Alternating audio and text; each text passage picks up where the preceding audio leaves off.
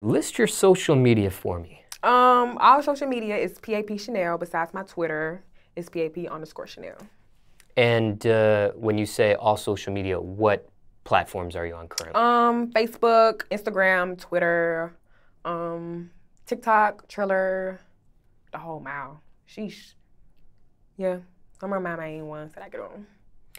You named every platform except for OnlyFans. Shout out to all the girls getting them big goddamn checks from OnlyFans.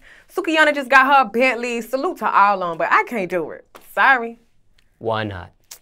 I don't know. I'm just, I mean, I feel like, I'm not knocking nobody's hustle, but I'm just shy. I'll be like, I'll be like, oh shit. They're gonna be like, this bitch right here, she need to just delete it. Ban this bitch. I could not do it, but salute to all the girls doing it. Y'all showing, y'all showing out. Y'all making these girls out here like, ooh, let me goddamn get a fix. That's what these girls out here saying. They they testing their waters on their OnlyFans, but that's some shoes I don't want to walk in.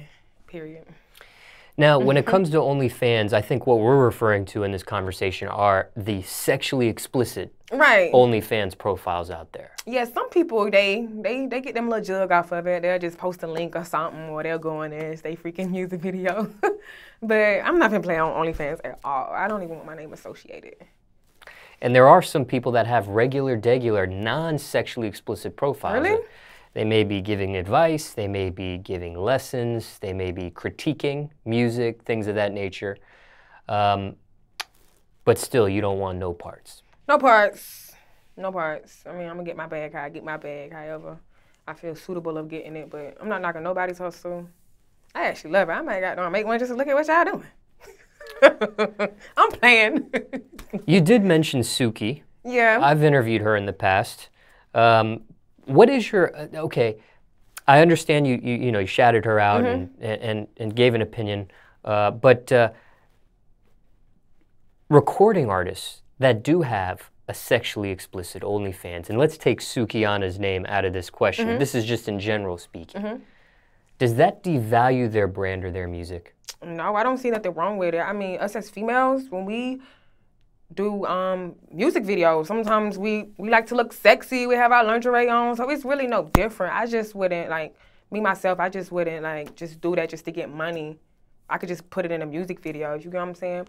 But no, I don't feel like it devalues them at all. Us females, we gotta be sexy. Period. Shoot, especially being a female artist. Y'all dudes like to see that booty sometimes. Ever been in a relationship with someone that had an OnlyFans profile? Um, no, no.